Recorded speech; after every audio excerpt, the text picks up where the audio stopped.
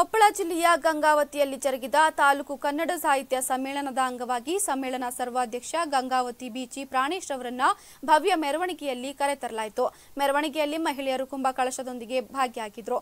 Auto ಚಾಲಕರು ತಮ್ಮ ವಾಹನಗಳೊಂದಿಗೆ ಭಾಗಿವಹಿಸಿದ್ರು.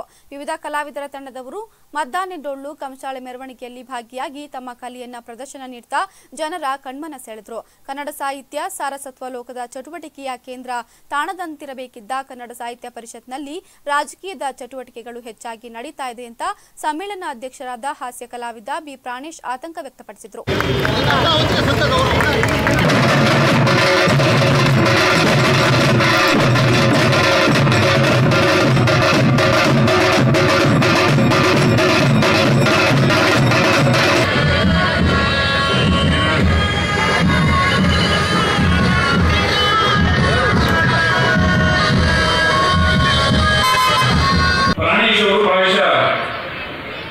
ಮಾತನಾಡದ, ಮಾತನಾಡದೇ ಇರುವಂತಹ ವೇದಿಕೆ ಇಲ್ಲ.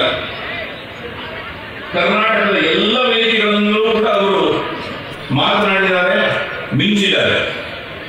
ವಿದೇಶಗಳಲ್ಲೂ ಕೂಡ ಪ್ರಾಣೇಶ್ವರ ಬಗ್ಗೆ ಒಂದು ವಿಶೇಷವಾದಂತಹ ಒಂದು ಅಭಿಮಾನ ಇದೆ. ಇವತ್ತು ಜನರನ್ನ ಸೇರಿಸಬೇಕು ಅಂತಂದ್ರೆ ಒಂದು ಕಾಲದಲ್ಲಿ ಸಿನಿಮಾ ನಟರನ್ನ ಕಳಿಸ್ತಾ ಇದ್ರು. ಸಿನಿಮಾ ನಟಿಯರನ್ನು ಕೂಡ ಕಳಿಸ್ತಾ ಇದ್ರು. ಸಿನಿಮಾ